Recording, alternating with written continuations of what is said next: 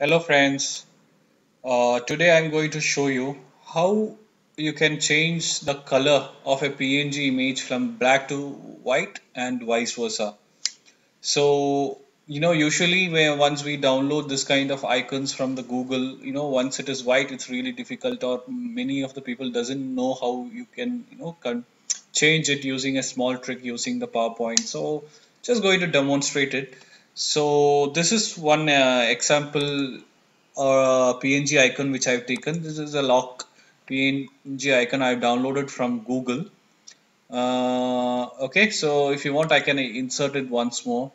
Just going to delete this one just for you to understand. Just I'm going to select the picture, going to the desktop. See, this is a lock icon which I downloaded. It's a PNG. You can see it's a PNG. You know, uh, 512 into 512 icon. So I'm just going to insert it. Okay.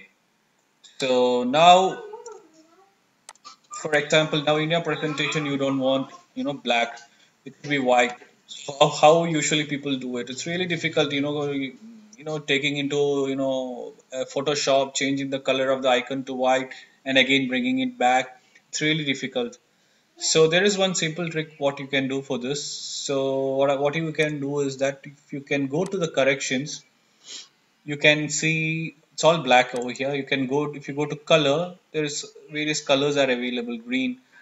And many people would have tried this also. If you go to the variant you try white it will not work. You click on this nothing is going to happen.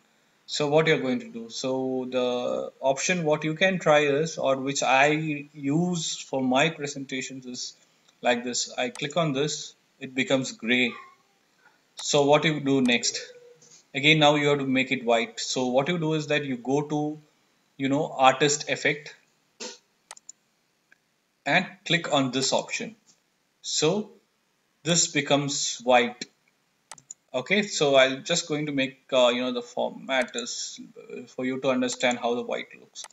Just making a darker background. See so now this is white. So it's really simple. Within two clicks you can convert your black icon into white icon.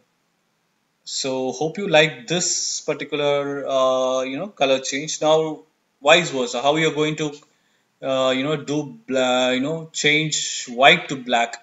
So what you are going to do is again the same thing. Go into format. Go to color corrections. You have a direct option here. It's as simple as that always the difficulty is from white you know black to white.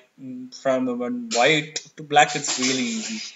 So this or you can change it to any color. So it's not about uh, white or black. You can change it to you know most of the colors. You have some options here also wherein you can try. So this is the easiest option you know you can try for making this. Okay? So hope you like this video. Thank you. Thank you very much